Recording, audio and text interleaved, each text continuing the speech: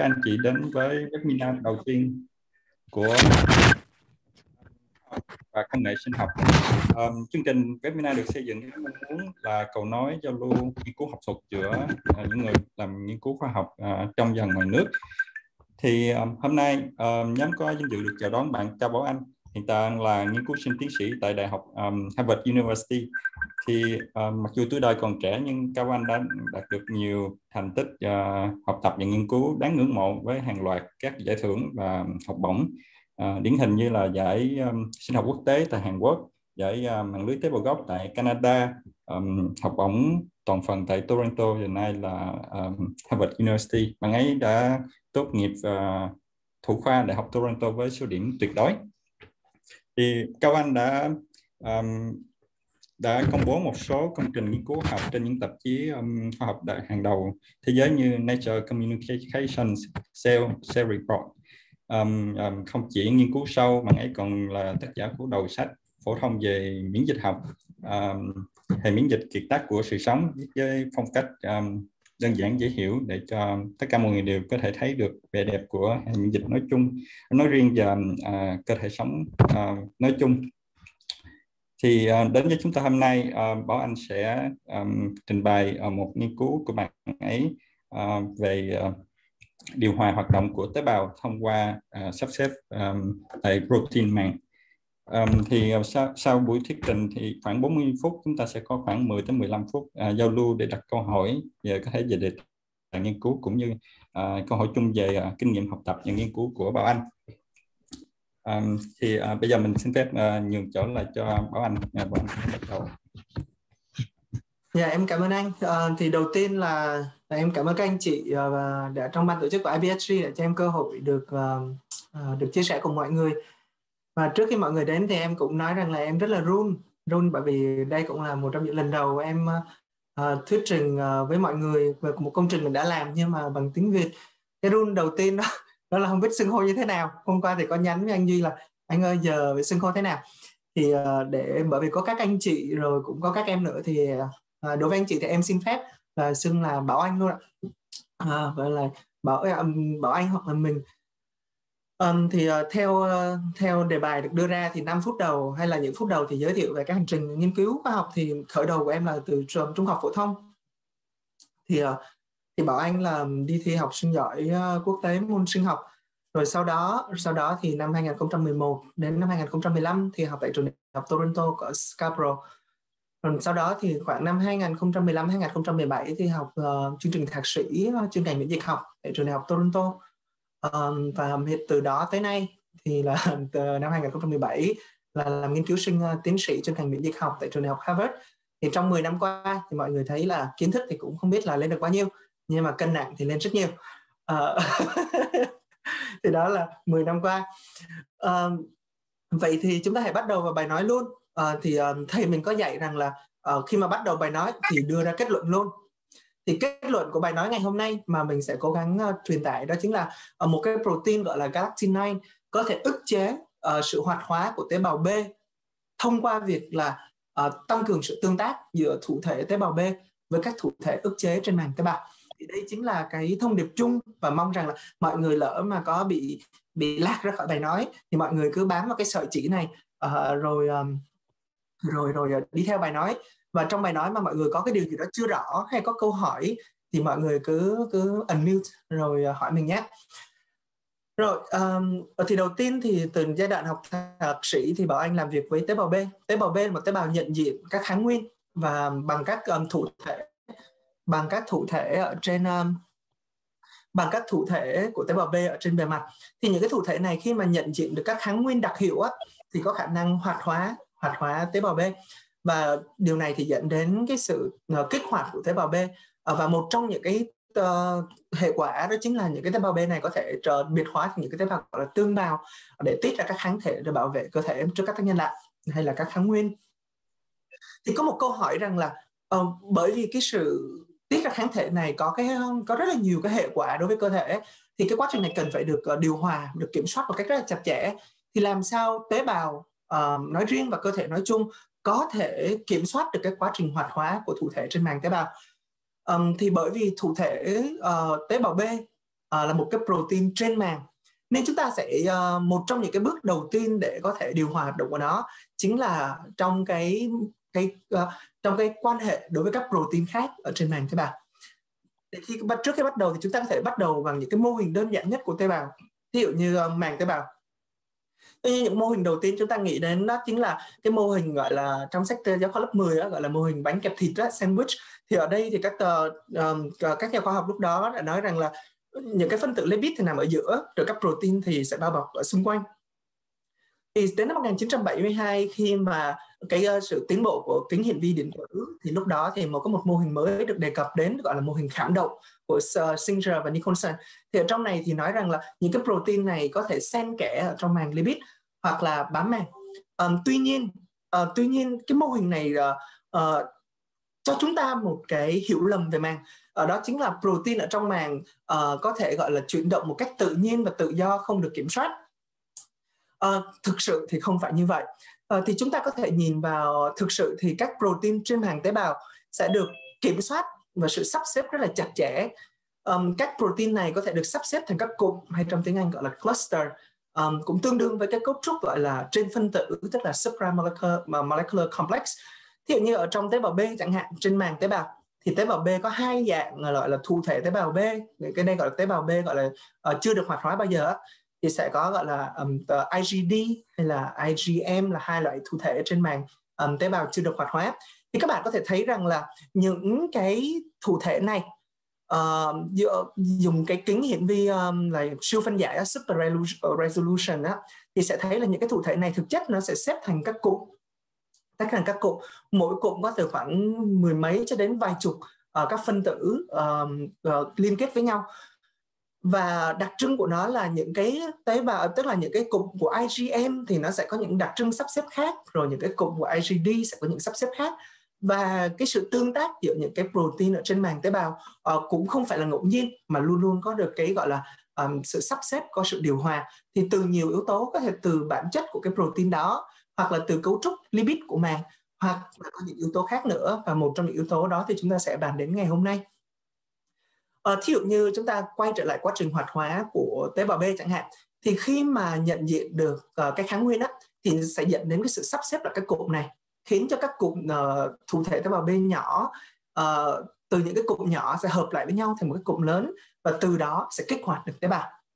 nhưng mà quá trình này cần được kiểm soát như thế nào? Thì uh, trên màng tế bào á, uh, sẽ có những cái thụ thể khác. Những cái thụ thể này được gọi là thụ thể ức chế thì như hai thụ thể ức chế nổi tiếng nhất ở trên màng tế bào B á, là CD45 và CD22 thì những cái thụ thể này khi mà đứng gần ờ, uh, thụ thể tế bào B thì nó sẽ dẫn đến cái hiện tượng là ức chế cái sự hoạt hóa uh, hay ở đây cụ thể hơn là cái quá trình mà gắn nhóm phốt pho vào trong cái uh, cái uh, phức hợp um, thụ thể trên màng tế bào. Uh, vậy thì câu hỏi và các bạn có thể thấy rằng là dựa vào tùy thuộc vào cái sự tương tác giữa những cái cụm này giữa cụm thụ thể tế bào B và cụm các protein ức chế thì sẽ có những cái kết quả khác nhau thí dụ như ở trong cái tình trạng bình thường chúng ta có một cái khoảng cách là khoảng cách là A chẳng hạn thì ở những cái vị trí này thì cái uh, những cái thủ thể ức chế như CD22 có thể ức chế một phần um, cái hoạt động uh, của um, thủ thể tế bào B. Tuy nhiên ở trong một số điều kiện khác khi mà dẫn đến cái sự thay đổi về cái sự sắp xếp trên màng tế bào khiến cho những cái thụ thể ức chế này đến gần hơn được với những cụm của thụ thể um, tế bào B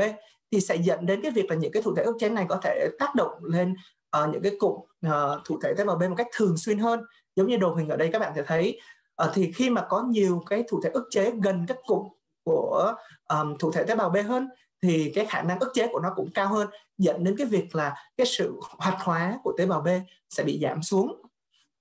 Và câu hỏi khi mà mình bắt đầu cái chương trình thạc sĩ được cô giáo mình hướng dẫn á là ủa vậy thì uh, cái sự tương tác này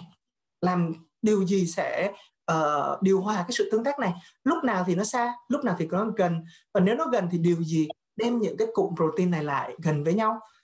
Hay là điều gì sẽ ngăn chúng lại gần với nhau? Thì lúc đó thì uh, thực sự mình nói rồi là có rất nhiều yếu tố khác nhau từ bản chất của cái protein ví dụ như nó có những cái tương tác tĩnh điện chẳng hạn hay là về cái cấu trúc của màng thì có lipid cũng có những cái cấu trúc gọi là lipid wrapped này nọ. Uh, nhưng mà có một điều mà chúng ta hay quên á khi mà chúng ta nhìn vào protein kiểu này á chúng ta hay quên một thành phần rất là phổ biến. Um, đó chính là các gốc đường gắn vào trong các protein. Thì như đây là một cái hình ảnh ví dụ thôi. Đây là hình của một cái mạch máu endothelium uh, endothelial layer here. Và các bạn có thể thấy là những cái tế bào mà nội mạc này, uh, những cái cấu trúc mà lông lá này đây thì đó chính thực chất là các gốc đường và như vậy là đây là cái gốc đường mà thường á, bằng các phương pháp như là uh, nhuộm bằng ờ, kháng thể chẳng hạn chúng ta sẽ không thấy được. Tại vì kháng thể không chúng ta không có kháng thể uh, tức là chúng ta không dùng những kháng thể để mà để phát hiện ra những cái cấu trúc này. Bởi thế chúng ta thường chỉ tập trung vào cái phần protein ở giữa thôi. Và chúng ta quên mất rằng là những cái protein này thường được gắn với những cái gốc đường khác nhau. Vậy thì câu hỏi trở nên cụ thể hơn rằng là đối với những cái protein có gắn gốc đường này thì liệu rằng có một cái yếu tố nào có thể uh, khiến chúng gọi là tương tác với nhau hay không? và và bởi vậy thì lúc đó thì mình mới và cô mình mới bắt đầu đi tìm vào những cái protein mà có khả năng bám vào các gốc đường này. Và với cái, một cái ý tưởng cũng rất là cụ thể thôi. Tức là nếu nó có thể bám vào gốc đường của thụ thể ức chế, rồi bám vào gốc đường của thụ thể tế bào B, thì nó có thể đem hai cái cụm protein này lại gần với nhau. Thì trong các protein bám đường có một cái họ protein gọi là galactins thì cái ờ, cái nhóm galactin này thì nó có đặc trưng là nó bám vào cái, cái, nhóm gọi là cái gốc đường gọi là beta cái liên kết đường là beta galactosid thì đây là một cái nhóm rất đặc biệt bởi vì chúng nó không chỉ có khả năng bám vào đường mà chúng nó còn có khả năng tương tác với nhau. Ví như là đơn phân thành ờ, lưỡng phân hay là từ đây từ monomer ờ, từ đơn phân thành lưỡng phân à, và hoặc là thậm chí là thành các đa đa, đa phân. Thì ở, và khi mà chúng nó tương tác với các protein trên gốc đường nhé rồi chúng nó tương tác với nhau thì nó có thể tạo nên các cấu trúc về uh, về mạng lưới này và khiến cho những cái protein trên màng tế bào có thể được gọi là sắp xếp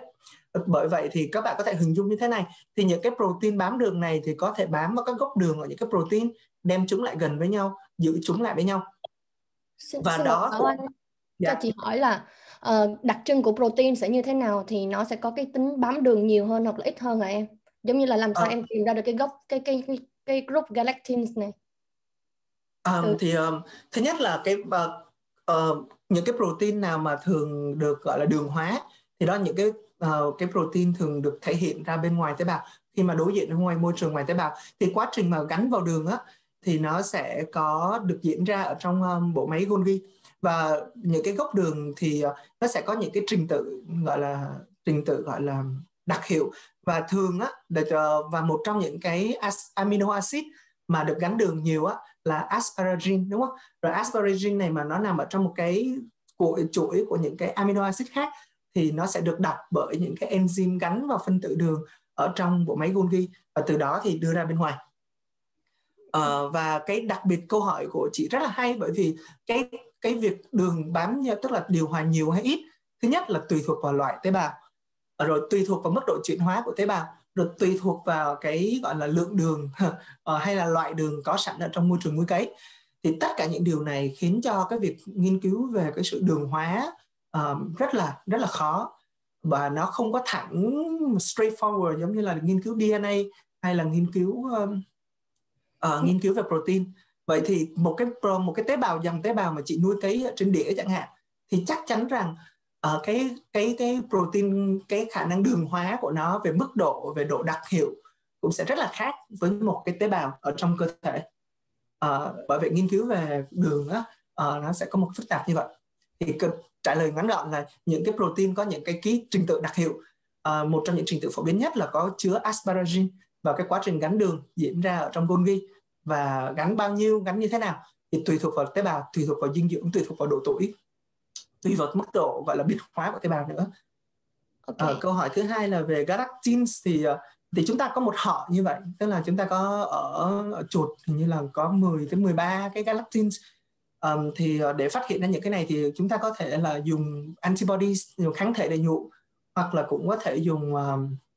uh, kháng thể để nhuộm hoặc dùng biểu hiện gen uh, để phát hiện ra là à cái cụm tế bào đó uh, có cái galactin nào thì chút nữa em sẽ thấy uh, chị thị thấy rằng là bằng flow cytometry á, thì uh, tụi em phát hiện ra rằng là galactin 2 là một trong những cái galactin mà bám ở trên bề mặt của tế bào B. ý, ý, ý chị không phải là khi nào làm cách nào để phát hiện galactins mà ý chị làm sao em lại trong các protein mà em sẵn có trên literature thì làm sao em come up with chọn cái à. galactins để mà nghiên cứu á à thì thực sự ờ, khoa học thì nó nó không phải là như là em tự nghĩ ra đâu uh, đây là một cái quá trình gọi là cô em cô em làm nghiên cứu uh, sự chuyển động của, cái protein ở trên mạng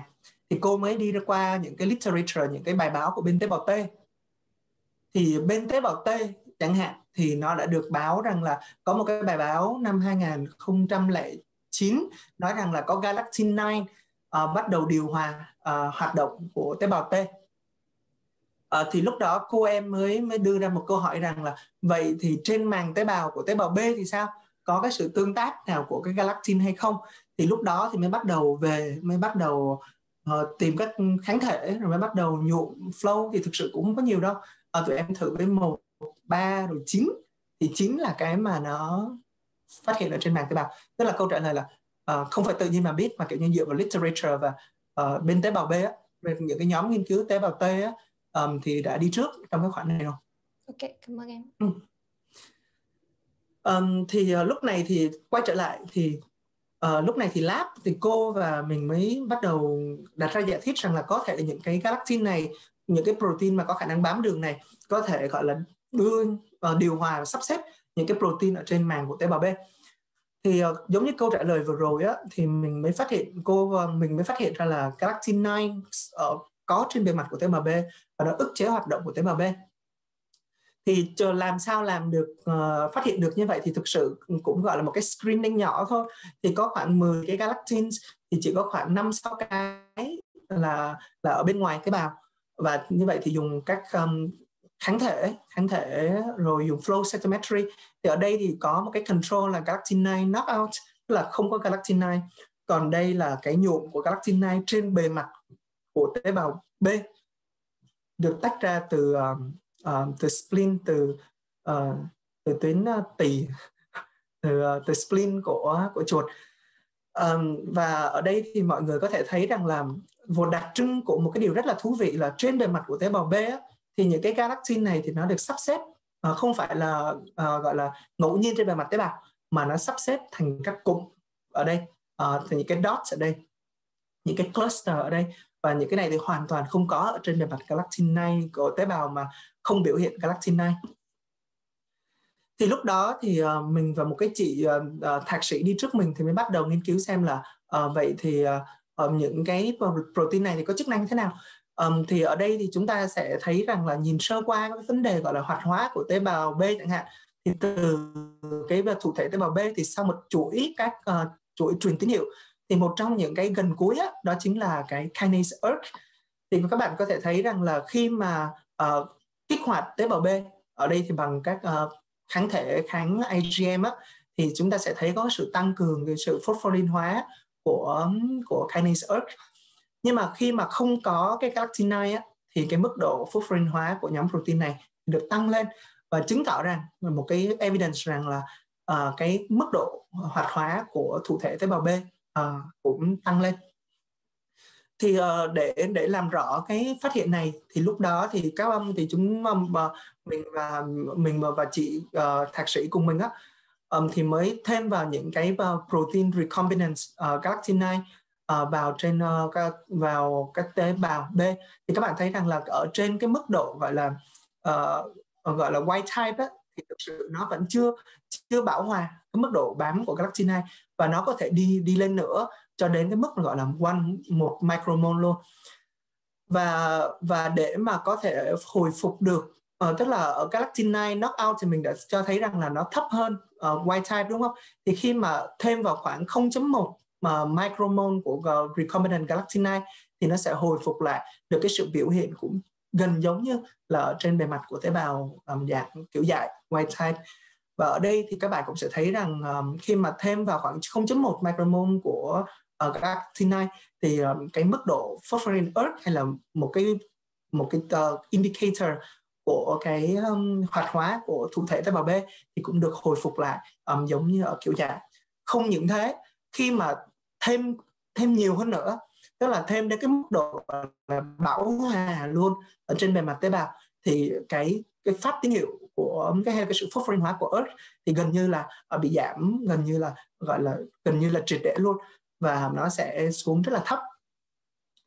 Vậy thì ở từ những cái này thì chúng ta đã thấy rằng là galactin 9 một là bám trên bề mặt tế bào hai là nó ức chế cái sự gọi là hoạt hóa của thụ thể ở trên màng tế bào B.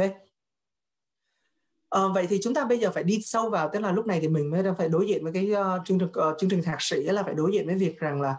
uh, vậy thì cơ chế là gì? Thì lúc đó thì đầu tiên để trả lời câu hỏi này thì mình phải trả lời câu hỏi rằng là vậy thì galaxy 9 này nó tương tác với protein nào? Thì để làm một cái uh, để phát hiện điều này thì mình mới làm một cái pull down assays thì trong cái này thì mình sẽ sử dụng uh, một cái gọi là uh, protein uh, recombinant protein galaxy 9 nhưng mà có thêm một cái flag là flag tag. Một cái tag là flag tag. Và sau đó thì mới đưa trên uh, mới đưa lên trên uh, cái um, và và uh, trên bề mặt của những cái gọi là hạt ờ, năm chấm á thì có những cái kháng thể uh, gắn vào cái cái tag flag tag. Và như vậy thì qua đó gián tiếp gắn vào cái protein recombinant galactin 9 và sau đó thì mình mới uh, ủ với lại cái gọi là cái uh, cái tế bào được cái gọi là hỗn hợp phân giải của tế bào. Rồi sau đó rửa rồi sử dụng uh, uh, tức là rửa sạch uh, để loại bỏ đi những cái gọi là tương tác uh, không đặc hiệu rồi sử dụng lactose. Lactose là một loại đường. Bởi vậy thì nó sẽ uh, tương tác gọi là uh, tương tác gọi là cạnh tranh với lại uh, galaxy 9 và do đó giải phóng những cái những cái um, uh, những cái gọi là uh, ligands uh, những cái ligands những cái những cái protein mà bám vào galaxy 9 và sử dụng uh, uh, mass spec uh, sử dụng mà gọi là uh, uh, uh, mass uh, khối uh, khối phổ. Khối phổ. Mass spec. Uh, để uh, để phát hiện xem là cái protein đó là protein gì. Thì dựa vào cái phân tích thì mình phát hiện ra rằng là ở một trong những cái protein mà tương tác với galactin 9 thực chất là cái chuỗi nặng uh, của cái thụ thể tế bào B hay là cái IgM rồi nó cũng có tương tác với lại CD45 là một cái phosphatase một cái protein uh, mang tính chất ức chế ở trên màng tế bào và để mà gọi là để confirm để xác định lại những cái phát hiện bằng uh, mass spec thì lúc này thì mình mới sử dụng gọi là một làm cái pull down rồi sử dụng western blot để phát hiện để confirm đó thôi. Thì ở các các bạn có thể thấy rằng là khi mà sử dụng recombinant galactin 9 mà pull down thì mình có thể uh, phát hiện được gọi là CD45 và IgMs và những cái tương tác này um, sẽ không có tức là sẽ bị giảm rất là nhiều nếu mà thêm vào lactose uh, một trong những cái biểu hiện cho thấy rằng là cái sự tương tác này là sự tương tác đặc hiệu giữa galactin 9 và với lại các phân tử đường. Thì uh, lúc đó thì mình mới bắt đầu uh, sử dụng uh, các uh, kính hiển vi uh, huỳnh quang uh, để xem xem là cái sự uh, phân phối của tức là sự phân phối của galactin 9 so sánh với lại uh, với IgM với lại CD45 thì như thế nào. Thì các bạn có thể thấy là ở đây một cái tế bào điển hình thì sử dụng một cái um, À, uh, recombinant galactin 9 rồi nhuộm nó thì ở cái và đặc trưng của galactin 9 là nó sẽ tạo thành nó phân cực nó tạo thành một cái mũ ở đây. Thì ở cái mũ mà có galactin 9 thì ở đó thì các tín hiệu của CD45 hay là của của IgM tức là một cái thành phần của thụ thể tế bào B cũng tăng lên. Thì để gọi là để gọi là số liệu hóa nó thì mình bắt đầu sử dụng một cái mask thì để sử dụng nó thì mình mới định nghĩa hai vùng một gọi là vùng galactin 9 hai tức là vùng mà có nhiều galactin 9 và một vùng là có ít galactin 9 và dùng đó thì có thể thấy được rằng là ở cái vùng mà có nhiều galactin 9 thì cũng sẽ có nhiều CD45 hơn cũng có nhiều IgM hơn. Và mặc dù tiếp theo nữa là mặc dù là CD22 á, không có tức là CD22 á, không có được nằm trong cái list mà kết quả được uh, trả về của phân tích uh, mass spec um, nhưng mà bởi vì CD22 ờ, CD22 là một trong những cái gọi là um, thụ thể ức chế mà rất là nổi bật trên bề mặt tế bào B. Uh, và nó cũng được nổi tiếng với việc là có những cái uh, gọi là những cái đưa điểm đường hóa uh, rất là được gọi là um, uh, bảo tồn trong tiến hóa. Thì lúc đó mình cũng được um, mình cũng được hướng dẫn là hãy nhìn uh, hãy xem xem cái sự phân phối của CD22 như thế nào. Thì mình cũng thấy là khi mà có galactin 9 thì cũng có sự sắp xếp lại của IgM đúng không? Là các uh, ờ, thể tế bào B và với các thụ thể ức chế là CD22 um, cũng theo tương tự như vậy ở vùng có galactin 2 tức nhiều galactin 2 thì cũng có nhiều CD22 hơn. Và và ở đây thì mình không có chỉ đưa ra dữ liệu nhưng mà trong cái bài báo á, thì cũng cho thấy rằng điều này không xảy ra với tất cả các protein uh, những uh, và một cái người anh em họ của IgM á, tức là IG, IgD tức là một cái thụ thể tế bào B khác thì không được không được gọi là uh, tăng cường ở trong vùng galactin này. Chứng tỏ rằng cái sự tương tác này sự ờ, sự tăng cường cái ờ, cái sự tương tác này nó mang tính chất đặc hiệu một phần nào đó chứ không phải là ở protein nào cũng ở trong galactin này uh, cũng được gọi là uh, tăng cường hơn. Thì uh, ở đây là đến từ dữ liệu này sẽ đến từ một cái bài báo mà sau khi mà Bảo Anh đã rời khỏi lab rồi. Uh, đây là một cái bài báo được xuất bản năm 2019 um, thì ở đây thì cho thấy rằng là cái sự hoạt ức chế của galactin 9 á, thì nó sẽ phụ thuộc vào CD22 ở đây thì sử dụng các tế bào B dòng tức là tế bào gọi là Dowdy một cái tế bào một dòng tế bào B uh, in vitro um, có xuất phát từ người. Thì các bạn có sẽ thấy rằng cũng được biểu hiện ở đây là có có earth này thấy không? Um, uh, và một trong những cái biểu hiện hoạt hóa của nó ở đây á ở một cái giai đoạn sớm này như thế này là CD19 tức là cũng là một cái biểu hiện gọi là um, um, uh, của gọi là sự hoạt hóa và ở đây thì là có sự uh, biểu hiện của earth thì đây là mình đã biết rồi. Và khi mà các bạn thêm vào galactinite chẳng hạn khi mà thêm vào galactinite thì các bạn sẽ thấy rằng là cái sự phosphorin hóa của của earth uh, bị giảm uh, ở trong các tế bào kiểu dại có biểu hiện CD22 còn ở các tế bào mà không có biểu hiện CD22 CD, CD22 knockout á, thì việc thêm vào recombinant galactin-9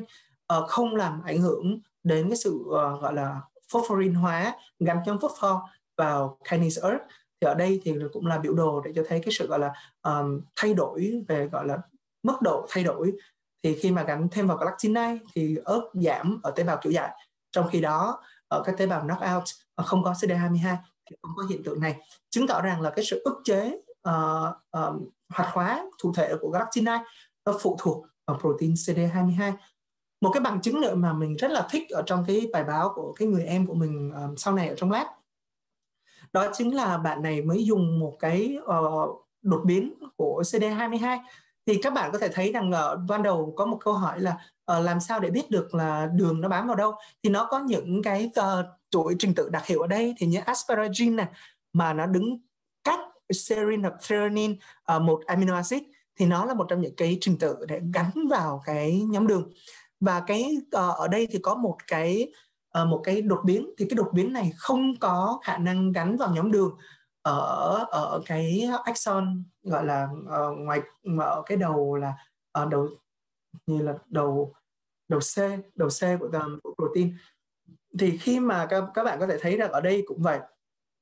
Ở đây thì chúng ta sẽ nhìn lại được cái data của của cái slide trước là khi mà có recombinant prolactin đó, thì recombinant giảm tức là cái mức độ phosphorin hóa của ERK giảm trong khi của knockout á, um, thì sẽ là không giảm. Nhưng mà điều đặc biệt là nếu mà có biểu hiện cái CD22 mà mang cái đột biến mà năm cái asparagine này được thay thế bằng năm cái glutamine tức là không có cái năm cái chuỗi đường gắn ở đây thì cái khả năng ức chế của recombinant galactin này cũng biến mất luôn. Chứng tỏ rằng là nó không chỉ cái khả năng ức chế của galactin trên tế bào B nó không chỉ phụ thuộc vào chế độ các phân tử CD22 mà nó còn đặc trưng là gì? phụ thuộc vào các nhóm đường ở trên phân tử CD22 uh, cũng là cái cơ chất của galactin này thì đây cũng là cái gọi là cái ờ, cái phân tích về uh, số liệu uh, trên dựa trên cái tín hiệu về Western blot. Thì uh, một trong những cái bây giờ thì chúng ta đã biết được rằng à trên bề mặt tế bào B chúng ta có uh, galactin 9 rồi cái đặc trưng của nó là galactin 9 thì ức chế hoạt động của tế bào B um, thông qua cái việc tăng cường tương tác với những cái thụ thể ức chế như là CD22 rồi CD45 um, thì lúc này thì uh, mình mới bắt đầu nhìn sâu hơn rằng là vậy thì khi mà galactin 9 này nó bám vào IgM hay là CD45 hay là CD22 thì chuyện gì sẽ xảy ra với cái sự gọi là sự sắp xếp của chúng ở trên màng tế bào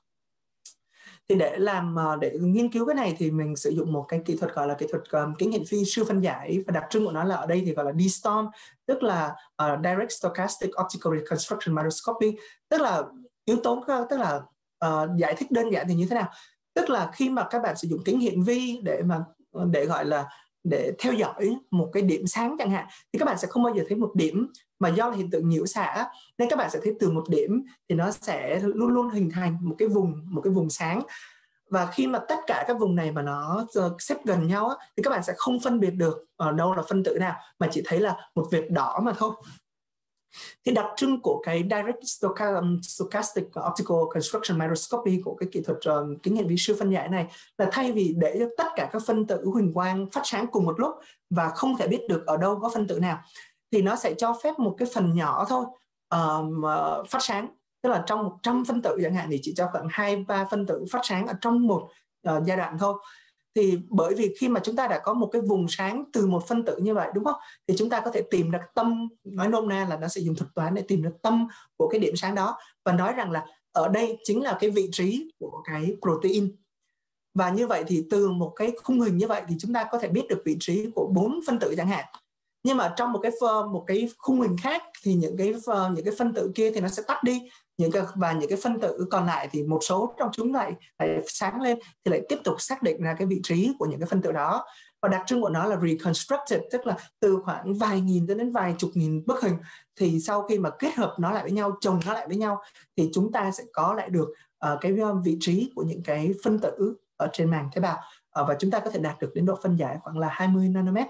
Thì ở đây thì các bạn có thể thấy rằng ở đây là hình ảnh của um, của kính um, hiện tức là kính hiển vi huỳnh quang bình thường. Thì khi mà quan sát các sợi actin thì nó sẽ cho một cấu trúc ờ, rất là nhòe nhoẹt như thế này. Nhưng mà khi mà sử dụng cái uh, kỹ thuật distorm này thì các bạn sẽ thấy là chúng ta thực sự là có thể um, đo tức là thấy được các sợi của nó. Và thậm chí là có thể ước lượng được cái độ dài cũng như là thậm chí là cái đường kính của cái sợi đó. Dĩ nhiên nó vẫn sẽ mang có cái giới hạn của cái thuật toán và uh, và cái độ phân giải thì khoảng từ 15 tới 30 nanomet thì ở đây là một ờ, ở đây thì các bạn cũng đã thấy rồi thực chất là ở đây là các uh, kính hiển vi uh, tức là tín hiệu huỳnh quang ở trên bề mặt của tế bào là IgM nhưng mà khi mà dùng các kỹ thuật uh, siêu phân giải thì các bạn sẽ thấy rằng là những cái phân tử này thì nó sẽ tạo thành các cụm và mỗi cụm này thì có khoảng 10 và từ 10 cho đến ba bốn chục các phân tử và nó sẽ tạo ra những cái cụm hoặc là những cái spike signal như vậy thì uh, mình mới uh, cố gắng là xem xem là có sự khác biệt nào giữa tế bào kiểu dại và tế bào không có galactinide không. Tuy nhiên là các nếu các bạn nhớ cái hình đầu tiên á galactinide nó không có phân bố đều mà nó phân bố thành uh, các cụm nhỏ. Và như vậy khả năng để mà có thể uh, phát hiện được những cái cụm đó trong cái hiện vi trường á cũng khó hơn. Nên mà mình mới sử dụng một cái um, để tăng cường cái điều đó thì mình mới thêm vào recombinant galactinide đẩy cho nó tới một cái cực đoan một chút. Thì ở đây thì chúng ta thấy rằng là khi mà thêm vào recombinant galactinide cái vùng này cái vùng đây là IgM ha còn đây là vùng của galactinide thì ở trong cái vùng galactinide này thì các um, có chúng ta sẽ thấy là các cụm của IgM nó tập hợp lại với nhau tạo thành một cụm lớn hơn và đặc trưng của nó là chúng ta thấy là khi mà dùng một cái à, phân tích số liệu á thì mình mới thấy rằng là cái số lượng cụm á à, thì thay đổi. À, tức là số khi mà thêm vào các galactinide á thì số lượng cụm à, nó giảm đi và kích thước cụm á thì lại tăng lên.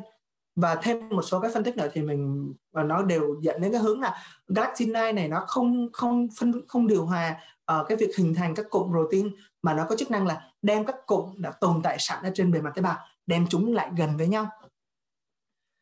Và ở đây thì uh, cổ đây là trong bài báo mình cũng xuất bản nhưng mà đây là một cái phần data của một cái người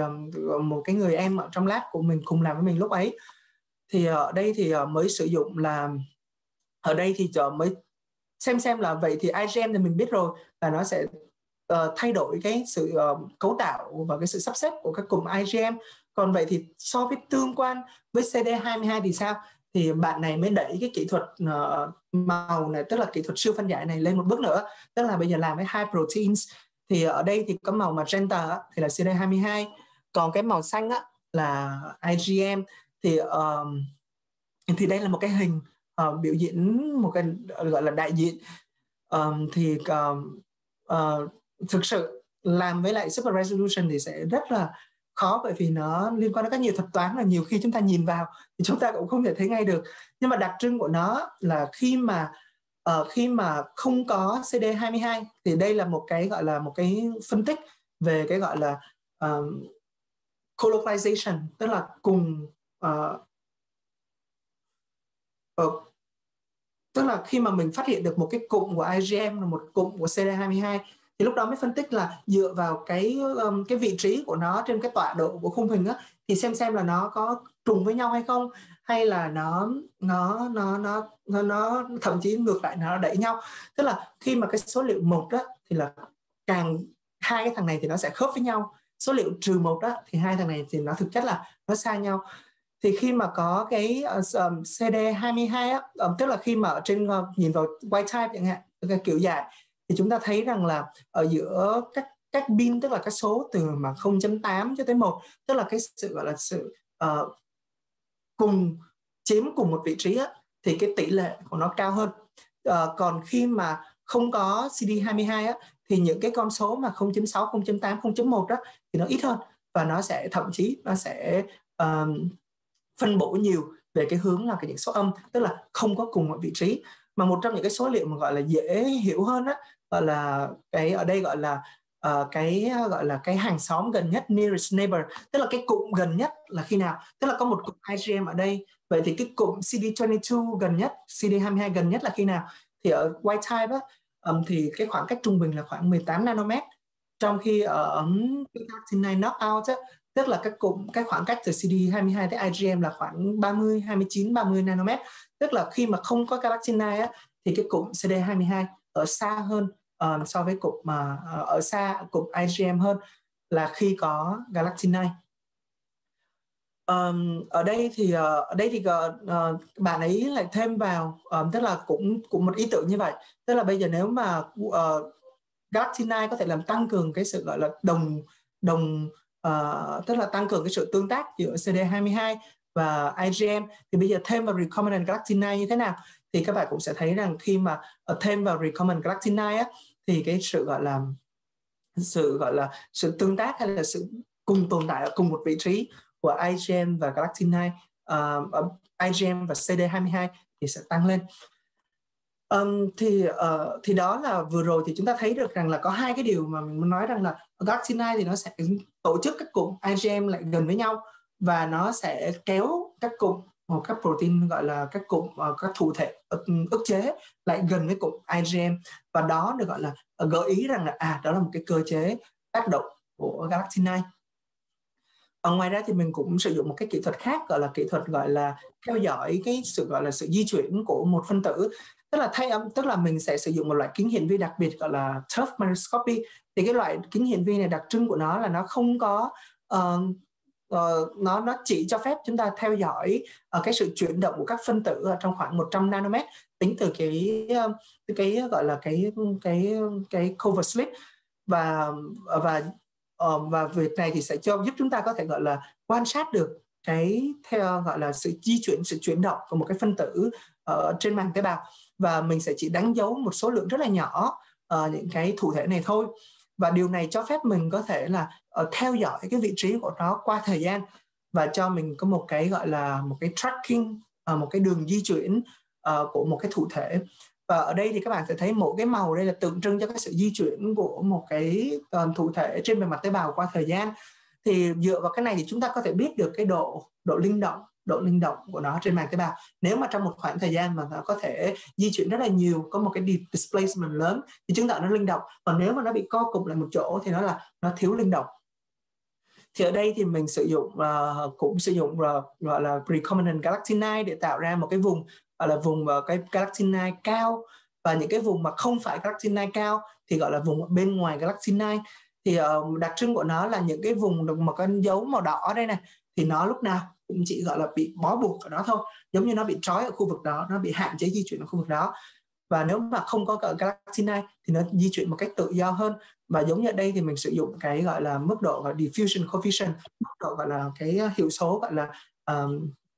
uh, khuếch tán. Thì ở đây chúng ta thấy là khi mà không có ngoài cái vùng galactinide khi không có các galactinide thì cái mức độ linh động của nó cao hơn khoảng 2 tới 3 lần so với cái khu vực ở bên trong tại sao điều này lại quan trọng như vậy? Bởi vì mức độ linh động của cái thụ thể nó sẽ cho biết được cái mức độ gọi là uh, nó sẽ có thể di chuyển trên bề mặt tế bào. Và do đó thì nó có thể gọi là tìm ra các kháng nguyên và được kích hoạt. Và ở đây thì sử dụng một cái mô hình là kháng nguyên gọi là kháng ờ, model antigen một cái mô, kháng nguyên gọi kháng nguyên mô hình. Thì trong cùng một thời gian đó um, thì các tế bào mà được um, được uh, thêm vào recombinant galaxy thì nó có khả năng độ linh động thấp hơn và nó cũng có cái khả năng gọi là um, góp nhặt các kháng nguyên uh, cũng thấp hơn. Um, chứng tỏ rằng là cái mức độ gọi là mức độ linh động mức độ hoạt hóa của cái tế bào B cũng thấp hơn. Thì uh, đấy là coi như là xong cái bài báo của mình. Uh, thì đó là năm 2018 thì mình kết thúc bài báo với nói rằng là à uh, nó cái galactinide này có trên bề mặt tế bào B nó ức chế các hoạt động của tế bào B thông qua việc là tăng cường cái sự tương tác giữa cái thụ thể tế bào B với những cái thụ thể ức chế như là CD22, CD45 thì có một câu hỏi mà có thể là rất nhiều anh chị và các bạn ở đây đặt ra là của à, vậy nghiên cứu cái này để làm gì? Và ở đây thì trên chuột thì vậy thì có cái ứng dụng nào không? Thì ở đây thì ờ, cũng rất là may mắn là khi mà mình đến với Harvard thì mình mới tìm được một cái mình mới biết được một lát là cũng nghiên cứu về một cái đề tài cũng y chang luôn nhưng mà không phải trên chuột mà ở trên người. Và và cái mình mới phát hiện rằng là cái nhóm này này uh, cũng có phát hiện ra rằng là thí dụ như ở đây là mạng gọi là phân tích về trên mẫu mô đúng không? Thì um, cái, những cái tế bào mà có vùng tế bào B á được được đánh dấu bởi cái um, kháng thể Pax5 này. Thì ở cái vùng này thì các bạn sẽ thấy rằng nó cũng là cái vùng mà có có rất là nhiều galactin này ở cái khu vực ở đây là lấy mẫu từ tonsil uh, tonsil uh,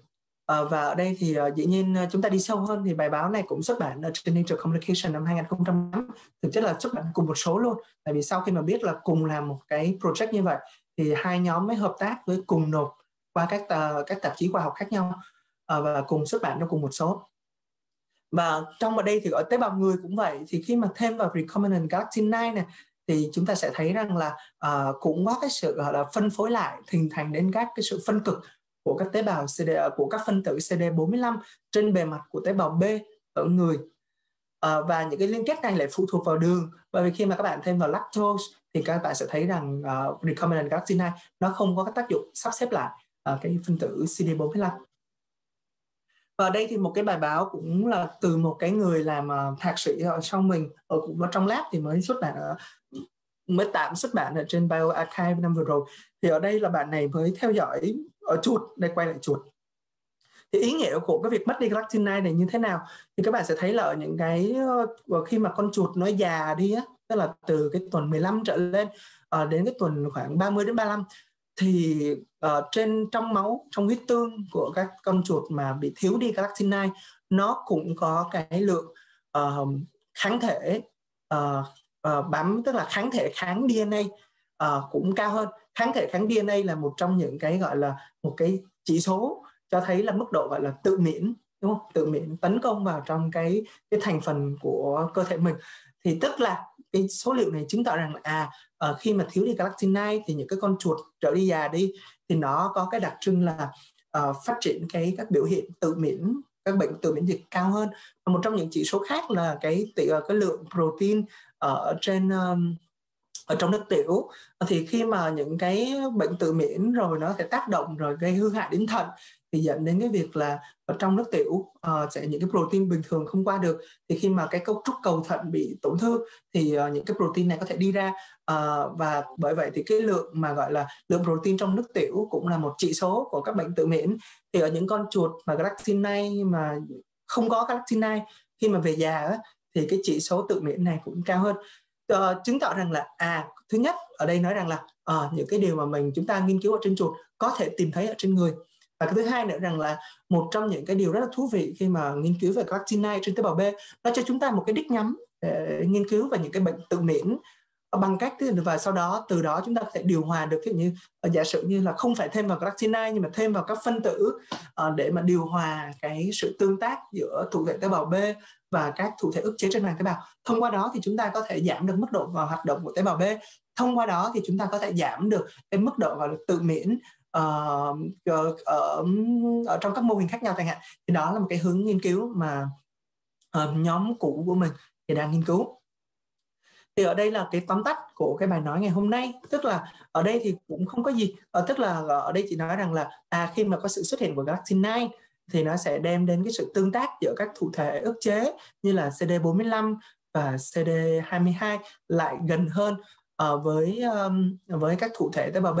Trong khi đó nếu mà thiếu đi những cái thế này thì cái khoảng cách thì nó sẽ xa hơn cái sự tương tác này diễn ra ít hơn và do đó uh, cái tín hiệu từ uh, thụ thể tế bào B sẽ được tăng cường và điều này uh, uh, có thể được gọi là uh, chúng ta có thể thêm vào những cái recombinant galactinide từ bên ngoài vào. Và do đó thậm chí ức chế cái um, cái uh, cái tín hiệu uh, được kích hoạt từ thụ thể tế bào B chẳng hạn. Uh, thì đây là một trong những cái gọi là sự khác biệt giữa cái trạng thái kiểu dài trạng thái không có galactinide và trạng thái thêm vào galactinide ừ. uh, thì mình muốn để cuối cùng thì mình cũng là đầu tiên là mình phải cảm ơn cô cô Babin Trainer. Cô là người lại gọi là hướng dẫn mình nghiên cứu từ những năm 2 của trường đại học. Cô cũng theo mình đi hết một cái giai đoạn 4 đến 5 năm 6 năm. Và và trong cái quá trình ở Canada thì uh, cô đã hỗ trợ mình rất là nhiều. Uh, và thêm vào đó là những cái người uh, bạn những người cùng lab rồi đây là những cái người cùng lab của mình. Uh, đây là cô bà Karen uh, bà thực chất là nuôi uh, cho mình ăn hồi uh, năm 4 đại học um, thì đó là mình uh, muốn lời đó là một cái cơ hội mình nghĩ rằng rất là quý báu và cũng là một cái điều mà do đó mình có thể tiếp tục đi trên con đường nghiên cứu. Um, tuy nhiên thì chúng ta sẽ kết thúc thì giống như chị ban đầu chị Thoa có nói là một trong những niềm đam mê của mình là bài tarot và mình cũng sẽ dùng bài tarot để kết thúc bài nói chuyện này. Tức là khi mà mình nói chuyện với chị Huyền á chị Huyền là một trong những admin của nhóm IBSG thì chị Huyền hay nói rằng là à chị nói với các bạn khác là em là con của người ta à, hay là anh Duy cũng vậy bảo là à anh Bảo anh có cái thành tích như vậy ABCD um, nhưng mình cũng phải nói rằng là uh, những những cái trạng thái con người ta thực sự uh, không có gì là hoàn hảo đâu chắc chắn là như vậy. Tức là sau khi những cái data mà mình vừa trình bày cho mọi người cũng vậy khi mà mình làm thì thực sự cũng có rất là nhiều thí nghiệm thất bại. Rồi có những cái có những data thì không thể nào uh, gọi là lặp lại được. Và những cái ngày tháng đó thì thực sự uh, mình phải đối diện với một cái trạng thái gọi là không có gì chắc chắn rồi cũng nghi hoặc của bản thân. Bởi vậy một trong những cái thông điệp mình muốn gửi đến các bạn trẻ mà bắt đầu về đam mê y học hay là sinh học hay là những người đang bắt đầu đi vào con đường nghiên cứu á, thì cái việc mà các bạn thất vọng ở những cái mà các bạn nghi hoặc bản thân nó giống như là một quá trình nó là một quá trình không thể thiếu được. Và khi mà các bạn nhìn vào một người nào đó hoàn hảo hay là uh, thành tích gì đó thì các bạn cũng phải biết rằng là à, thực sự không hoàn hảo vậy đâu. Chắc chắn người này cũng có những cái sự thất vọng cũng có những cái nghi hoặc cái khả năng của bản thân. Và khi mà chúng ta làm được nghiên cứu á, thì nó đây là một cái lá mình rất thích gọi là lá the moon. Nó tượng trưng cho những cái sự gọi là sự mơ hồ uh, sự gọi là những cái nỗi sợ. Và mình nghĩ nó nó rất là giống với con đường mà nghiên cứu khoa học bởi vì chúng ta nghiên cứu khoa học chúng ta không phải là làm với những điều đã biết mà thực sự chúng ta làm những điều không biết. Chúng ta đi trên một con đường mà trước đây không có ai đi. Và đó là một con đường thì có rất là nhiều điều không rõ ràng rất nhiều nỗi sợ. À, và mình nghĩ rằng là um, và đó tại sao mà mình khi mà mình nói chuyện với chị Huyền rồi về những cái nhóm ý tưởng của nhóm IBSG để cho thấy rằng uh, những người nghiên cứu khoa học mà đặc biệt là từ đất nước của chúng ta uh, cũng có một cái cộng đồng uh, cũng có thể chia sẻ những cái gọi là những cái đam mê rồi những cái khó khăn với nhau. Thì mình nghĩ rằng trên cái con đường mà nó đầy cái sự trông gai và cái sự không chắc chắn này um, thì cái sự, sự sự hỗ trợ lẫn nhau rồi sự sự động viên lẫn nhau này thì cực kỳ cực kỳ là quan trọng. Và cái cuối thì dù có trải qua bao nhiêu đúng không? Thì chúng ta mình nghĩ rằng ai đã bắt đầu học sinh học rồi đi nghiên cứu thì cũng sẽ sau một cái đoạn gọi là uh, đi tàu lượn như vậy thì những cảm giác thất vọng nhất rồi đến những cái cảm giác gọi là uh, Eureka hoặc là không bao giờ tìm ra được cảm giác Eureka thì sẽ đến một lúc nào đó chúng ta vẫn tìm thấy được là à mình yêu thích con đường mình đang đi uh, và chúng ta lại tiếp tục đi vào một cái con đường mà rất là nhiều người uh, uh, không chọn bởi vì sự không chắc chắn đầy những thất vọng. Nhưng mình nghĩ rằng là uh, đó là một món quà giữ được cái một cái sự gọi là ngây thơ một cái ngờ ngạch uh, trên con đường mà mình nghiên cứu mình nghĩ đó là một món quà và uh, chắc chắn là nếu mà chúng ta còn giữ được cái niềm yêu uh, sinh học niềm nghiên, nghiên, nghiên cứu á, thì chúng ta có thể vượt qua được nỗi thất vọng vượt qua được những sự không rõ ràng và không chắc chắn thì đây không phải là mình truyền giảng gì cả. Đây cũng là một lời mình nhắc nhở bản thân mình luôn. À, và bài thuyết trình của mình đến đây là hết rồi. À, cảm ơn tất cả mọi người. Um, cảm ơn anh rất nhiều. Um, bài gặp với bài thuyết trình uh, hết sức thú vị. Uh, chia sẻ ngắn về uh, con đường uh, nghiên cứu uh, về bài tarot. Mình cảm thấy rất là thú vị uh, và anh kết thúc với the full. Giống như Steve yeah. nói stay foolish stay hungry, hungry chứ không phải là the dead chính xác. Ok so hiện tại cũng đã có một số bạn đã đặt câu hỏi. Thì uh, mình uh, xin phép nhờ các bạn câu hỏi trực tiếp với bảo anh nhé. Đầu tiên yeah. Dạ. là bạn Yến. Chào bảo dạ uh, Yến à Yến hay là Chiến à? Ờ bạn Yến. Cứ đặt câu hỏi trước à, xin lỗi uh, Yến trước Chiến à. Sau đó sẽ tới uh, Phúc và tới Chiến Ừ, xin xin phép mình đặt câu hỏi trước. À, đầu tiên là cảm ơn Bảo Anh rất nhiều về bài thuyết trình rất là hay. À, sau đấy thì mình có hai câu hỏi. Nhất câu hỏi thứ nhất là khi mà Bảo Anh làm thí nghiệm với recombinant galactinide thì Bảo Anh có thử các nồng độ khác nhau hay không? Bởi vì mình thấy như trong thí nghiệm thường là sẽ chỉ có một nồng độ. Với cả thứ hai là Bảo Anh làm phần lớn các thí nghiệm là trên uh, galactin knockout mice. Vậy Bảo Anh đã bao giờ thử overexpress galactinide chưa để xem là liệu liệu nhưng mà nếu như có quá nhiều galactinide thì nó có có tác dụng ngược hay là có cái ảnh hưởng xấu gì không? Đến tế bào. Cảm ơn bạn. Ừ, à, cảm ơn bạn. Um, thì um, đầu tiên đó là uh, câu trả lời câu hỏi đầu tiên á thì mình sẽ quay trở lại là với lại cái data của cái chị thạc sĩ ở trước mình. Thì thực sự có chắc chắn là phải sử dụng một cái loạt khác nhau. Thí dụ như là uh, giống như mình nói á, ở white type và knockout thì nếu mà các bạn thêm vào khoảng 0.1 micromolar thì các bạn có thể khôi phục lại được cái mức độ biểu hiện gần giống như là white time rồi cũng sẽ thêm vào 0.2, 0.5 và 1 và thực sự là data ở trong lab thì sẽ có các mốc là 0.1, 0.5 và 1 uh, ờ, nhưng mà sau này á uh, bởi vì các bạn sẽ thấy rằng là mình làm nghiên cứu về gọi là gọi là hình ảnh á và tức là một tế bào như thế này hình cầu rồi yêu cầu nó là phải nó lem tức là nó phải phải cái bề mặt mình nghiên cứu thì không thể nào nghiên cứu hết được bề mặt đúng không? Mình chỉ nghiên cứu được cái bề mặt mà tiếp xúc với lại cái cái, cái kính thôi. Và có một đặc trưng nữa mà mình cũng sẽ phải nói luôn là các bạn sẽ thấy là à, ờ, khi mà nghĩ về vật lý một chút thì khi mà các bạn túm một cụm IgM lại với nhau thì nó cũng làm thay đổi cái mức độ gọi là density ở trên bề mặt tế bào. Thì cũng giống như một quả bóng vậy khi mà lăn ở trên một cái mặt kính á, Ờ, thì cái mặt nào mà có nhiều cái cụm đó như vậy thì nó thường lại không nằm ở chính giữa hiện vi trường mà nó nằm ở vùng viền. À, bởi vậy à, tại sao mình lại dùng rất là nhiều một micromole là bởi vì ở cái vị trí đó thì cái xác suất cho mình có thể bắt gặp được cái uh, cái recombinant galactinide mà có thể quan sát được bằng kính hiển vi là cao nhất. Còn về các về các hóa sinh như về các phản ứng gọi là thông qua Earth chẳng hạn thì đều có cái 0.1 là mức gọi là mức khôi phục lại white type rồi mức là mức 1 tức là mức gọi là mức bão hòa và một mức gọi là mức 0.5 nhưng mà mức 0.5 thì nó cũng giống giống 0. Ờ, cũng giống một. Nên thường ở trong bài báo thì bạn sẽ thấy thường chỉ có 0.1 với 1 mà thôi. À, câu hỏi thứ hai là về việc overexpress galactinide thì uh, mình nghĩ rằng là thứ nhất là uh, về uh, mình không biết là nó sẽ thêm vào được thông tin gì mới. Tại vì nếu bạn overexpress thì một cái suy nghĩ của mình thì uh, bây giờ mình chỉ nghĩ ra được à thì nó cũng giống như mình thêm vào recombinant galactinide đúng không? Um, nhưng mà tại sao và có một cái lý do cụ thể nữa là cái việc mà biểu hiện um, tại vì ở đây những cái nghiên cứu này là mình làm ở trên tế bào uh, tế bào từ spleen của chuột. Nhưng mà để tức là và những cái uh, và những cái tế bào này thì um, lấy trực tiếp ra luôn. Và nếu mà muốn biểu hiện thì phải thông qua retrovirus, rồi thông qua chọn lọc. Nhưng mà lúc đó thì mình sẽ phải sử dụng những cái dòng tế bào. Mà tại sao lúc đó cô mình cực kỳ cực kỳ không thích sử dụng dòng tế bào? Thì cô mình ờ, và mình cũng đã giải thích ban đầu rồi. Tại vì cái mức độ gọi là đường hóa, là cái biểu hiện đường hóa, thì nó sẽ phụ thuộc vào, đó là tế bào từ cơ thể, từ spleen. Còn nếu đã nuôi ở trong môi trường, rồi thêm vào các dạng đường khác nhau, thì cái mức độ gọi là đường hóa cũng sẽ khác nhau luôn. Và vậy cái nghiên cứu ở trên dòng tế bào, rồi biểu hiện ở bằng các virus chẳng hạn, thì nó sẽ có thể không phải là điều các bạn sẽ thấy được ở đối với các tế bào lấy ra từ trong cơ thể của chuột.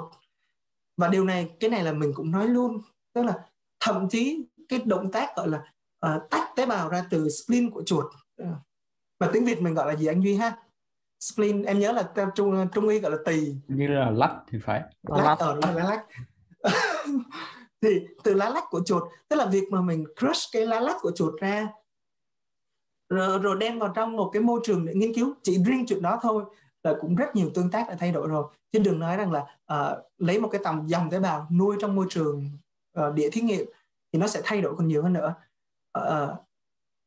tóm lại thứ nhất là cái thông tin mà overexpress thì cũng giống là thêm vào recombinant galactinide và thứ hai là việc mà biểu hiện ở trong tế bào in vitro á, thì nó sẽ có thể không cho được cái hình ảnh gọi là thông tin uh, mà đúng với lại các tế bào từ trong cơ thể. Yeah, dạ, ok, uh, cảm ơn Yến và bạn nhiều. Câu tiếp theo là bạn Phúc. Uh, bạn Phúc có đó không ạ? Hello Phúc. Um, có khi Phúc ở đây có ba câu hỏi thì phải à, Phúc à, hỏi yes. là ở vậy thì galactin 9 có được biểu hiện thường trực trong tế bào hay không và được cảm ứng hay là được biểu hiện trong điều kiện đặc biệt uh, thứ nhất là dựa vào những cái tế bào tức là những cái thông tin về phân tích về mẫu mô rồi flow cytometry thì ở cả chuột và cả người. Uh, thì galactin 9 được biểu hiện thường trực. Nhưng mà gọi là nhưng mà nếu gọi là uh, có khi nào tăng hay giảm hay không thì đó là một câu hỏi khác. Tức là uh, tức là lúc nào cũng có. Nhưng mà thí dụ như trong một cái bài báo của Nature Communication cũng là từ một cái lab ở đây thì cũng sẽ thấy ra. Nhưng mà ở trong tế bào B chẳng hạn không phải tế bào B nào cũng sẽ biểu hiện. Ờ, uh, galactinide mà những cái tế bào ví dụ như là những tế bào mà chưa được hoạt hóa sẽ biểu hiện galactinide hay là nói chung là có galactinide ở trên bề mặt tế bào nha chứ không phải là biểu hiện biểu hiện tức là từ gen ra protein. Đây là những cái tế bào uh, gọi là uh, uh, chưa hoạt hóa sẽ có galactinide trên bề mặt. Nhưng mà những cái tế bào mà được kích hoạt á, và đi vào trong germinal center á, là cái vùng mà tế bào B phân chia để để tạo ra các tế bào B tạo ra kháng thể đặc hiệu á, thì những cái thằng này lại không có galactinide ở trên bề mặt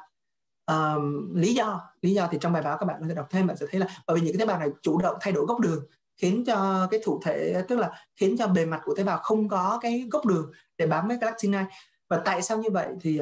uh, đó vẫn là một câu hỏi. Thì có thể là trong cái quá trình mà trong terminal center khi mà cái tế bào này nó đang cần phải tích cực nó cần đang được tích cực chọn lọc á thì nó cần cái điều nó cần là nó cần tăng cường cái tín hiệu từ uh, cụ thể chứ không phải ức chế. Bởi vì những cái tế bào này sẽ được uh, giảm đi cái sự kiểm soát của galactin 2 tức là câu hỏi của bạn đúng là nó sẽ được cái mức độ biểu hiện trên bề mặt tế bào thì um, uh, sẽ được điều hòa tùy phụ thuộc nhóm tế bào này tùy vào độ tuổi của tế bào này tùy thuộc vào cái mức độ cái tình trạng sinh lý của tế bào của cơ thể của mô của tế bào. À, hay quá. Câu hỏi thứ hai là phúc hỏi là nguồn gốc của galactin 9 là do các tế bào biểu hiện nó trên bề mặt như B cell uh, B cell hay là T cell? Thì trong cái bài ờ, của um, thứ nhất là uh, nguồn gốc của galactin 9 đây cũng một câu hỏi mà hồi đó mình cũng chưa có câu trả lời nhưng mà ít nhất ít nhất là ở trong cái bài báo Nature Communication của cái nhóm ở đây tôi ở Harvard uh, thì nói rằng là ở cái galactin 9 á, từ tế bào B á, thì có thể xuất phát từ chính cái tế bào B đó ừ. Uh, nhưng mà ngược lại bây giờ chúng ta sẽ nói rằng là bởi vì galactin 9 là một cái protein biểu hiện ở trong uh, ở vùng ngoài tế bào đúng không? Uh, thì nếu mà nó được secret ra bên ngoài và nó có thể bám vào những cái protein khác thì uh, tức là những cái tế bào lân cận cũng đó là cũng một khả năng luôn. Uh, những, những cái tế bào mà không có CD22 thì biểu hiện của ERK cũng cao hơn chính thế chính thế uh, uh, thì uh, câu hỏi thứ ba là tế bào uh, không có CD22 thì biểu hiện của phosphorin ERK tức là cái gắn nhóm phosphor của ERK cũng cao hơn tế bào white type uh, vậy có thể kết luận CD22 ức chế qua những con đường khác bên cạnh galactin chính xác chính xác. Ờ, uh, CD22 là một gọi là thụ thể là ức chế rất là nổi tiếng của của tế bào B rồi. Và mình chỉ nói rằng mình không nói rằng là C22 ức chế tế bào BC, BCR bởi galactin mà galactin tăng cường tăng cường uh, cái sự ức chế của CD22 đối với lại à, thụ thể tế bào B bạn cũng giống như tưởng tượng là bản thân nó đã có khả năng ức, ức chế rồi. Và bình thường trên bề mặt tế bào thì những cái à, thụ thể tế bào B có thể gọi là uh, có thể gọi là va va chạm với CD22 một cách ngẫu nhiên chẳng hạn thì nó cũng có khả năng ức chế. Nhưng bây giờ chúng ta có một yếu tố khác khiến cho cái sự tương tác này diễn ra một cách thường xuyên hơn khiến cho khả năng ức chế uh, nó diễn ra một cách gọi là uh, mạnh mẽ hơn. Tức là galactin này thêm vào một cái bước đó tức là uh, tăng cường cái khả năng ức chế thì đó là ba câu hỏi của bạn Phúc Galactin 9 có nghiên cứu nào trong căn bệnh tức là bạn anh Nguyễn đó thì có một câu hỏi rằng là có nghiên cứu vai trò galactin 9 trong một căn bệnh tự miễn dịch nào chưa ạ? À? Hay chỉ dừng lại ở việc xem xét anti double strand DNA? À, thì uh, trong vòng mấy năm qua thì thực sự mình không theo dõi về cái mạng literature của galactin 9 nhiều nhưng mà uh, đến năm 2020 thì đó vẫn đó vẫn là môi tức là tức là một căn bệnh mà gọi là liên quan đến galactin 9 cụ thể hay chưa? Uh, thì theo mình biết là theo mình biết thôi nha chứ không phải là thông tin nha theo mình biết là chưa bởi và bởi vì tại sao lại nó phức tạp như vậy bởi vì chúng ta không chỉ có một galactin vậy chỉ có galactin này mà còn có những cái member khác của galactin nữa bởi vậy để tìm ra một căn bệnh mà đặc trưng của galactin này thì theo mình biết là chưa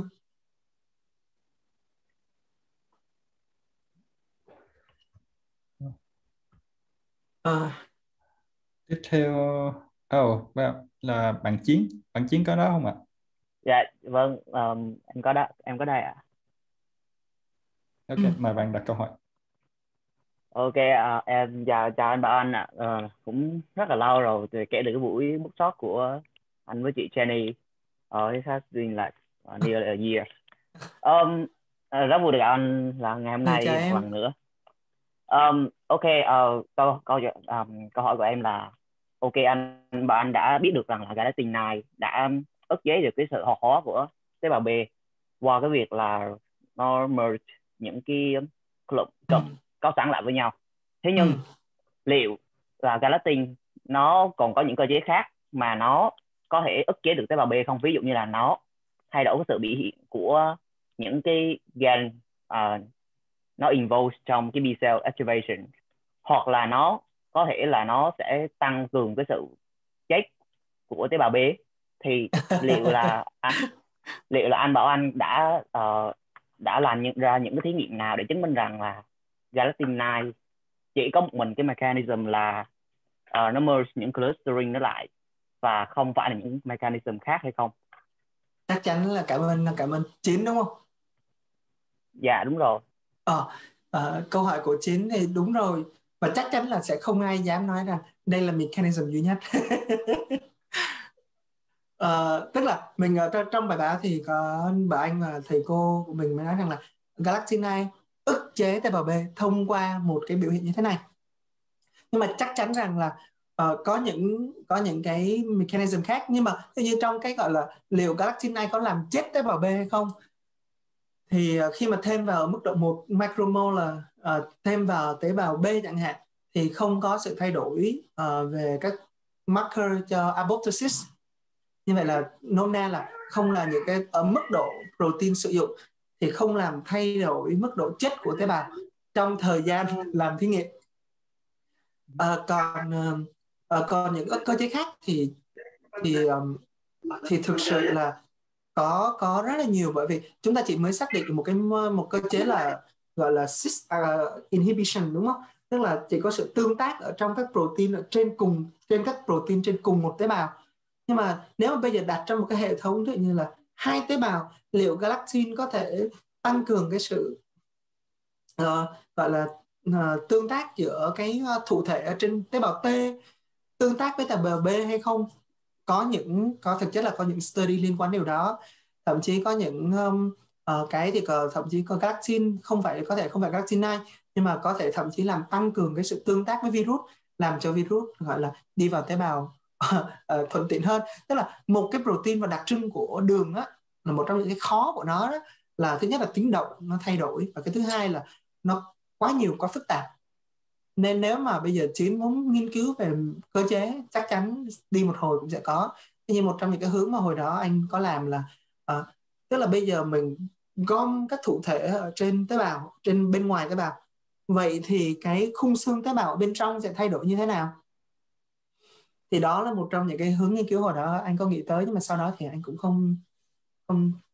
không uh, không theo đuổi hướng đó nữa. Nhưng mà chắc chắn là có những cơ chế khác nhưng mà có vẻ như không phải là do gây chết tế bào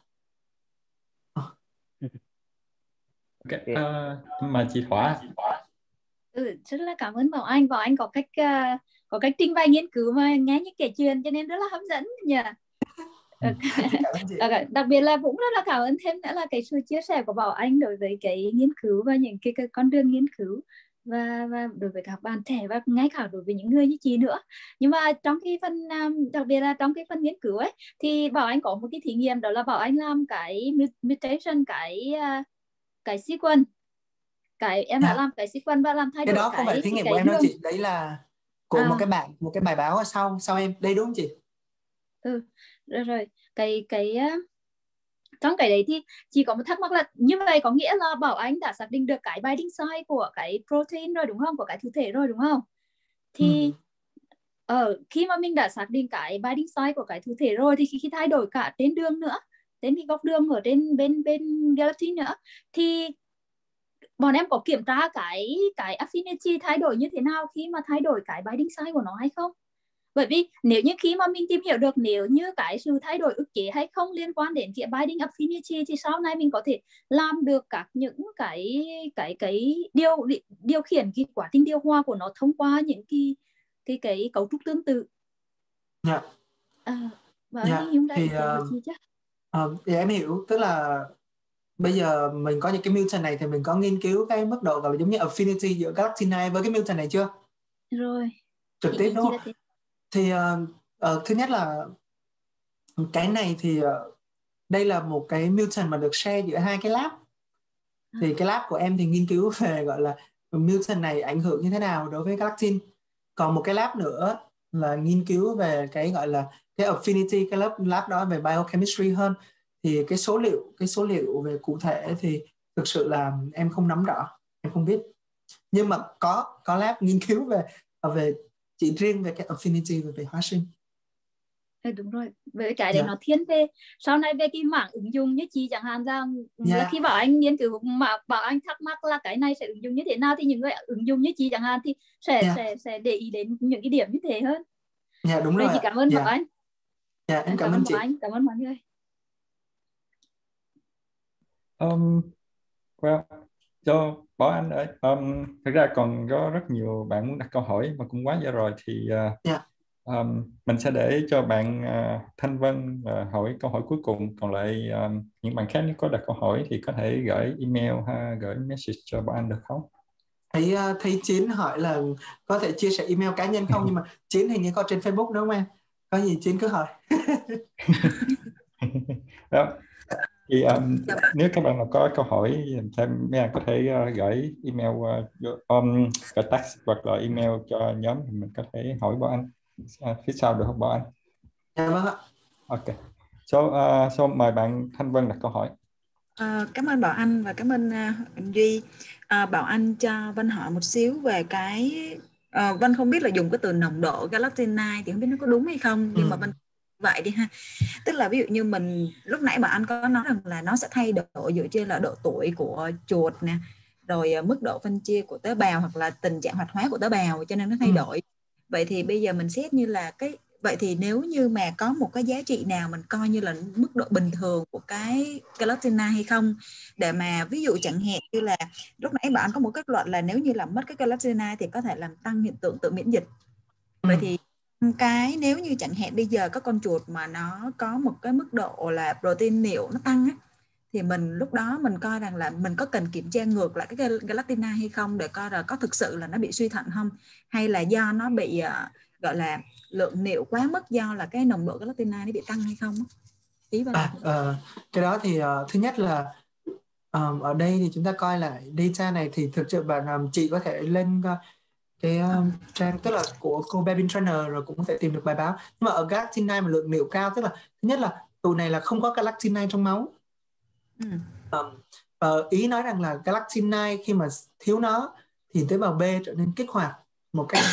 cái khả năng gọi là tự kích hoạt của nó cao hơn dẫn đến khả năng gọi là tự miễn dịch cũng cao hơn.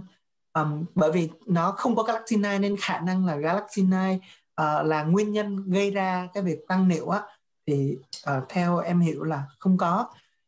Um, dĩ nhiên câu hỏi của chị là ủa vậy thì bây giờ mình phải lấy cái chuẩn nào? Thì theo em nghĩ rằng là uh, chuẩn uh, thí dụ như trong cái trường hợp này đi chuẩn nào để so sánh? Thì chuẩn mà em nghĩ là hiệu quả nhất á, là của kiểu dạy có cùng độ tuổi thậm chí là uh, uh, để kiểm kiểm soát cho vấn đề về sự đa dạng của microbiome á, là từ anh em uh, cùng cha mẹ đúng không? Cùng chuột cha chuột mẹ uh, sinh trưởng trong cùng một case uh, cùng giới tính cùng độ tuổi. Thì đó sẽ là nhưng mà khác khác nhưng mà khác về khác về kiểu gen. Thì thường để làm nghiên cứu này thì uh, em và mọi người làm uh, cho hai chuột dị hợp tử lai với nhau. Thì lúc đó thì sẽ đi tìm trong một cái lứa đó thì sẽ đi tìm white time này kiểu dài này rồi đi tìm cái knock out tức là tỷ lệ là một hai một đó thì bắt đầu mới gọi là so sánh trong cùng anh em. Mà ưu thế hơn tức là ở đây thì theo mình biết là không có kiểm soát về giới tính. Nhưng mà tức là cùng anh em là anh em với nhau uh, nhưng khác kiểu gen. Có cùng mức độ gọi là ăn uống rồi cùng một case cùng một cái uh, cùng một được nuôi cùng nhau. Và như vậy thì cái chuẩn kiểu dạy mình tạm nói rằng đó là cái chuẩn bình thường. À, cảm ơn bạn. Dạ em cảm ơn dạ rồi. Cảm ơn okay. uh, đầu tiên là cảm ơn mọi người đã đến uh, uh, lắng nghe. Và phải nói rằng đây là một câu một câu chuyện thì cách đây cũng uh, 3 năm rồi. Và bây giờ thì mình cũng đang có những cái project mới hiện thời thì mình đang nghiên cứu về miễn dịch uh, bẩm sinh đang nghiên cứu về dendrix uh, dendrix cells tế bào tua um, thì hy vọng là vài năm nữa sẽ có cập nhật cho mọi người. Cảm ơn nhóm IBSG cảm ơn các anh chị rất nhiều. Và cảm ơn các bạn đã đến uh, đến buổi talk show ngày hôm nay webinar ngày hôm nay À, cảm ơn bạn rất nhiều và cảm ơn các yeah. Dạ. bạn đã tham gia và nhiệt tình đặt câu hỏi quá quá mức mong đợi thực lúc đầu mình, mình cũng uh, hơi ngại không biết là các bạn sẽ có đặt câu hỏi được hay không bởi vì đây là một nghiên cứu uh, uh, hết sức cơ bản nên um, uh, rất là vui là các bạn đã nhiệt tình đặt câu hỏi. Mà những câu hỏi rất là chuẩn xác luôn những câu hỏi đi rất là đi thẳng vào vấn đề. Thậm chí yeah. câu hỏi của chín là cái câu hỏi mà lần nào đi báo cáo cũng đi hỏi hết bởi vì câu hỏi của chín hỏi tư duy uh, chín năm nay mới năm nhất đại học thôi đúng không chín? Ờ dạ đúng rồi đó anh cao. Ồ vậy là quá tuyệt rồi cố lên em. Ok uh, rồi chương trình webinar xin phép được uh, kết thúc tại đây um, xin chào tất cả các bạn và hẹn gặp lại ở những uh, webinar sắp tới